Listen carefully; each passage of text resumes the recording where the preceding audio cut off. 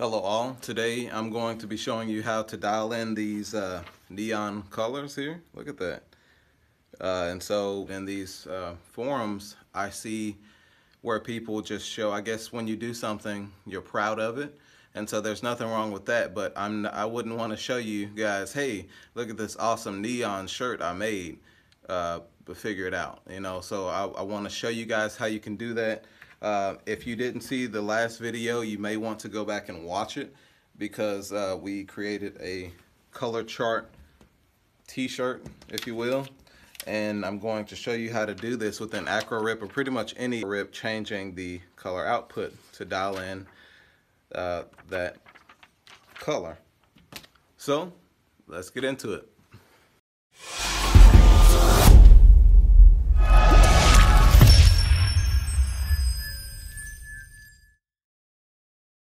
Okay, so we are in Illustrator here. This is just what I use again. Uh, and again, go back and refer to that uh, first video. Uh, but if you remember this shirt, this is what we printed last time. We wanted that royal color. So we're going to end up changing these um, colors that are black and uh, that royal color. Well, it's not more of a cyan on the monitor, but on the shirt it's a royal. We're going to change that to more of a neon green. So that's what we're attempting here. I don't think we'll be using the, fir the first color chart. I'm going to use the second color chart here first. And we're probably going to be around here-ish or here for that uh, neon green color. And also the, the swatch that you just saw me holding up, that was my test print for the day. Uh, I'm running one more here just to make sure. Uh, but yeah, run a small test sheet first just to see where your colors are going to fall. And you want to test the uh, you want to test the ink limit here. So how this is going to work if you don't know is the higher this percentage is the darker your colors are going to be. So if you remember uh, we went with 50% here for the ink limit the last time so we were at 50%, but those colors weren't quite neon, you know, esque. so what we want to do, and what I've already done for, so this video won't be extremely long, is uh, I changed these values to 30%, and I think this was my neon color here. But uh, where this is really going to be beneficial is uh, maybe your customer might want a neon yellow, neon pink. So we're going to knock out all of these at one time by simply printing another color chart. So the pinks are on here. Let me go back and make sure that, well, I, I may end up printing this. We'll see. If I don't see the neon pink, you know, fall around here or here-ish, when I print this chart, I'll go ahead and print both of the charts and just we'll make a, uh, a back side of that uh, swatch shirt so that if anyone ever comes in, you can catch all of the other colors of the spectrum that are not within that original 50% chart. You'll just have to remember which side of the, you know, shirt your 50 and your 30s are. But other than that, we're ready to go here. It looks like this print looks pretty good. So we are going to uh, open our chart here our chart number two with an AcroRip or whatever your rip software is going to be. Well, this is my Dallas line from years ago, uh, Oak Cliff. But, uh, so are looking for DTF chart two.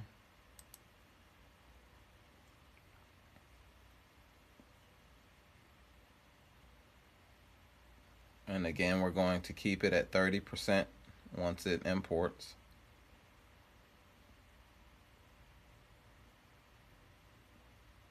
And then we'll make sure this is mirrored. I think I'm going to adjust my template slightly so that I don't have to move this over every time. And how you would do that is um, you would go to view template and then you would change the starting point of these and you would also be able to adjust how much the offset's going to be but I'll do that later So this is already pretty much set to A3. I'm going to go ahead and send this job over. Hit print, make sure these are both selected. Remember, we want these repeated uh, variables to be consistent so that uh, the colors come out perfectly as you intend them to be. All right, so we have our film here.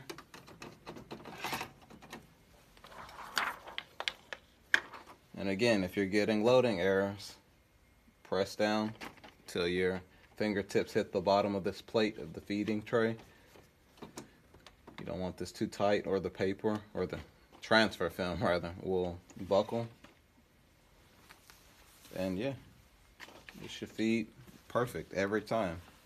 Unless there's an issue with the film or I've heard of you also being able to use the double-sided film, but we're just waiting on this job to to be sent.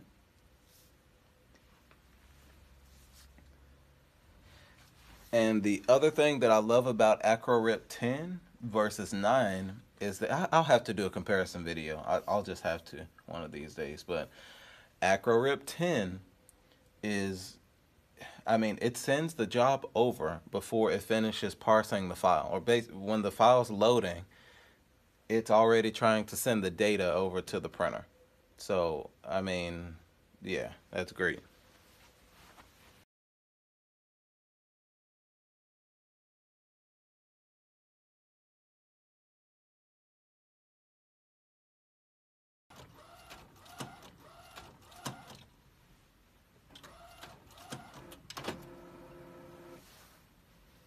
Okay, the big reveal.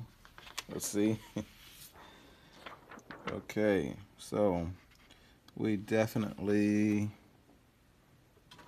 can go with it's hard to hold this at the same time but you can probably tell which one will be the neon here camera's a little dark but you could even go 20% if you wanted it lighter uh, I don't quite see well yeah I like this pink here I don't know if you can tell, but that's pretty, it has a punchy look to it. But even, you could go even higher if you wanted to do that. But he's wanting more of a uh, highlighter, not a neon. So that would be a highlighter green right in there. I don't know if you could see that here. Yeah. But yeah, so I'm gonna powder this thing. and then we'll be ready. All right.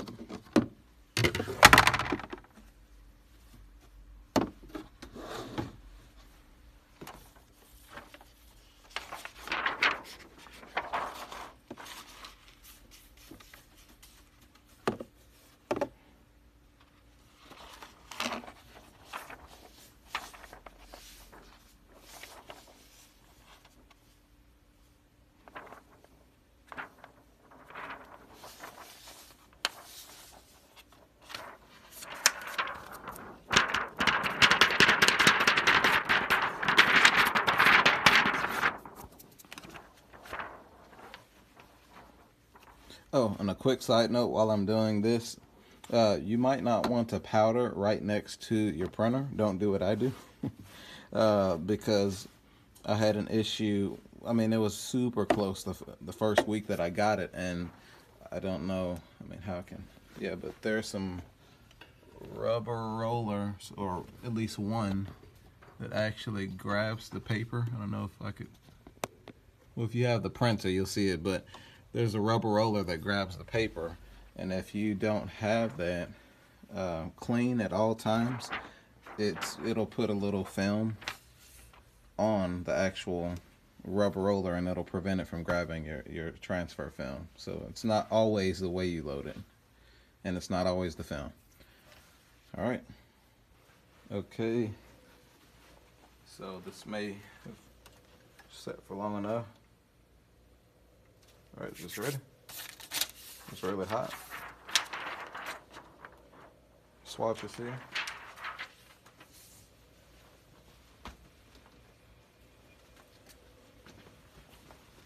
But just to show, I guess I can do this because this will be the only time you'll be able to see this side by side. So I don't know how I'm gonna do this, but uh, what you see doesn't always translate as well uh, on the shirt. It's not gonna always translate well. Let me see if you can see that. That's not too bad. Uh, let me try to get in close here.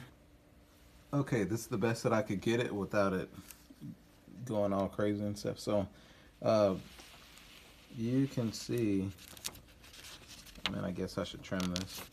But, I mean, you could see a big difference in those colors here. So we can see how, what did we say our highlighter color would be? Highlighter green. It's going to be this and here. But what's most important is when we press it to the shirt. Okay.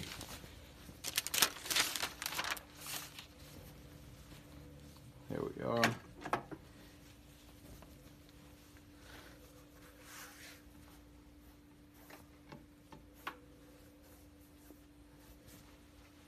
And this would be chart number two. So let's just assume I'm going to have time to do a chart number one on, on another day. Let me go ahead and put this where we split the difference and this should be the top. Right?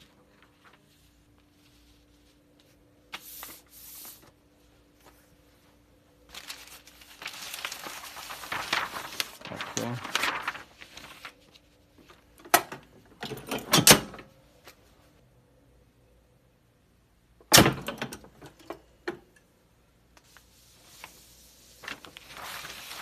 Again, um, if you saw the previous video, you want to do this on a white shirt so that if your vision is good enough, you can be able to see these um, Pantone color.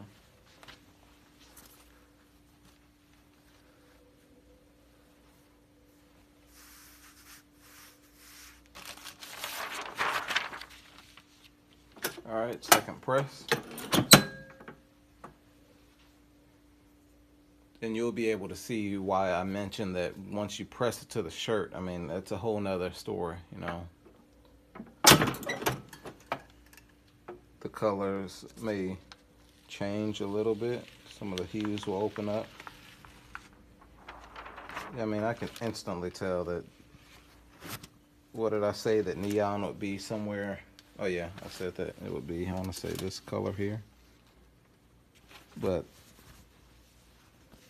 Ooh, that's hot because the film is on the other side heated up. But yeah, I'm sorry. I used to being the cameraman, so there you go. I mean, you can't really tell. I don't know if I can. It's like overexposed. Maybe I can darken it. Ooh. A little bit. But again, these colors will vary based on your printer and even the pinks. And you really can't tell the vibrancy of that but you can kind of see it in that but these could pass but i would i would say to even uh, for you i would set it at 20 percent since i ran this test but i don't have a lot of time here today to do it. Uh, but if you could run that test at 20% for the ink limit rather. Set that at 20% and start there. I mean these these colors will really open up. So happy printing. This is how you troubleshoot these issues. So uh, even though I didn't get it perfectly right I could still pass for neon pink with this for a customer. I could pass for neon uh, green but he wants this highlighter uh, color so I'm gonna dial this in. Okay, really quick, I'll go back to AcroRip and then show you how you will borrow those colors within Photoshop. Uh, and then send it over to AcroRip. Uh, for those that would like to see how you would actually include the shade and the, the or swatch rather, into the artwork. So let me brighten this up. And we'll do our rows and columns method that I mentioned the last time. That should still be in focus. Okay, so let's see, if I were going to do the highlighter, I think this is a really good color here. So we're going to actually go from the right side to make this easier. So one, two, three, four, five columns, and one, two, three, four rows down. So five and four. Okay, so we are back in Illustrator here. And what I'm going to do is go back to what we said. This should be the right section, right? Okay, yeah. So we said one, two, three, four, five columns.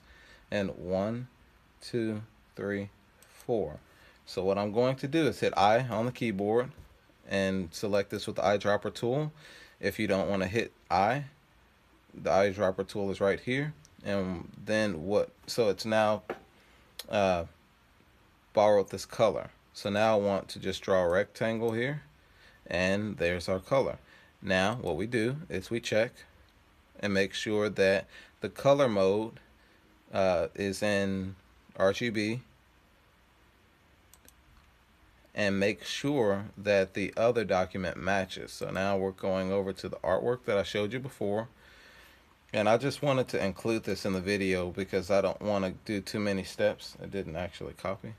Uh, I don't want to do too many steps to where you'll say, okay, well, that's great that you were able to do that, but how do I get it into my artwork? So most of this stuff is impromptu, and I just kind of throw things in there to where uh, my brain will start firing off, and I'll say, wait, this person has no clue what I just did. So we're going to take click this and we're going to drag it over and I'm sure you could do this in something like GIMP or something like that. I'm sure there's some freeware out there if you don't have Illustrator.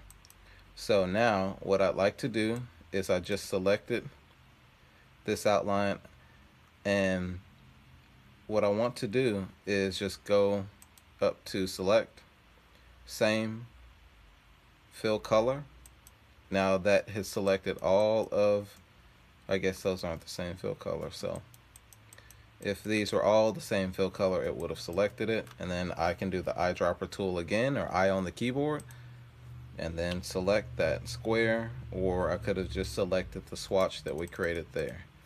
So since these other gray aren't the same, which they I, they have to be. I need I need them to be select same fill color. And for whatever reason there must be a layer. Oh one of these layers is uh, probably still active. Let me see here. I have to figure this out. Okay no it's there. So this should be a true white. Yeah so I don't know why I selected that uh, but here we go. Oh, okay, I can see why. Because of the stroke. The stroke is set. So we'll select the same stroke color. That's what I, I'll do. Only because this is how I set my file up. Now this selected it. There we go. I didn't export these to curves. So now, I, dropper tool, and we'll switch this back.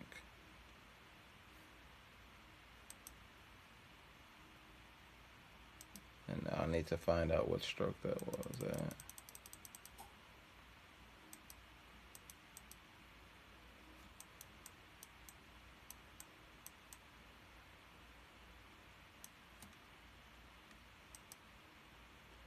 Okay there we go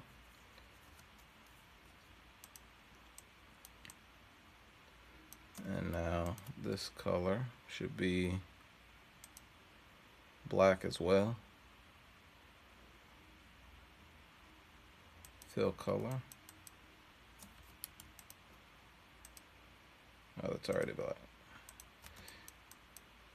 And then we're going to eyedropper tool. No lead, no need to overwork rather. And so this is almost our file. We can delete this and also I need to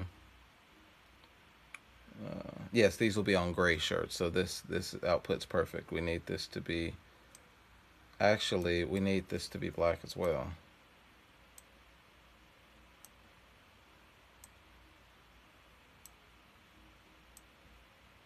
These are on heather gray shirts, not charcoal.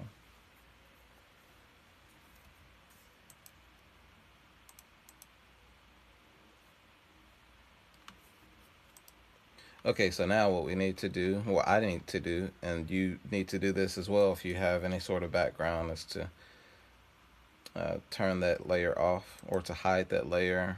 We're going up to export. We need this to be a PNG. I want to keep the artboard so that it's fixed to the template with an AcroRip and we'll call this tease gray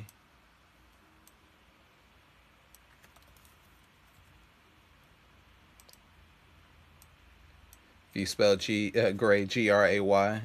I forgive you. Uh, this is a judge free zone so highlighter green.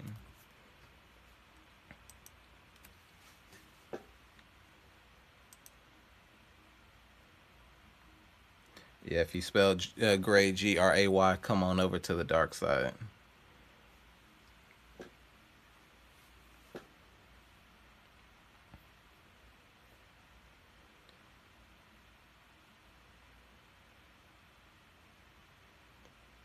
And I won't take up too much of your time here. I'll try to speed this up. And then I'll show you the final result here in just a second. Or actually, let, I'll, I'll, I'll go ahead and up, import it uh, just so that again I'm trying to gear these videos around everyone on every level where you'll just fast forward if you know this stuff but if you don't hopefully I will have been able to uh, to be of some help to you so we're gonna right click again don't come up here and do this uh, file and open and don't do that uh, if you're in AcroRip 9 you want this to save all of your settings, especially from the swatch. It's just, you know, I, I hate double working. Uh, so just get in the habit of making things easier on yourself. So we're in the wrong folder here.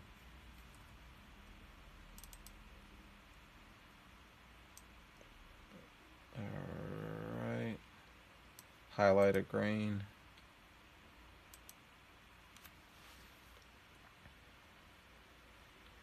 And remember, we're going to get in the habit of actually mirroring the artwork. As soon as make you know make a little sticky note tab that had you know where you have your little chart where it's part of you know different steps of your procedure. I'm going to move this down and over here